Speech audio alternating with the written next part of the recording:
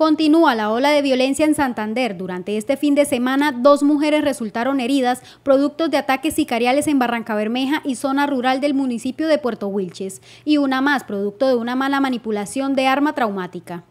El primer hecho se registró el viernes en el peaje de Puente Sogamoso, cuando Livia Tolosa Pinto fue atacada con arma de fuego. Según versiones, la mujer se desempeña como taquillera y se encontraba cobrando como normalmente lo hace, cuando sujetos sin mediar palabras le dispararon en repetidas ocasiones. La mujer fue trasladada al Hospital Regional del Magdalena Medio en Barranca Bermeja, donde recibe atención médica.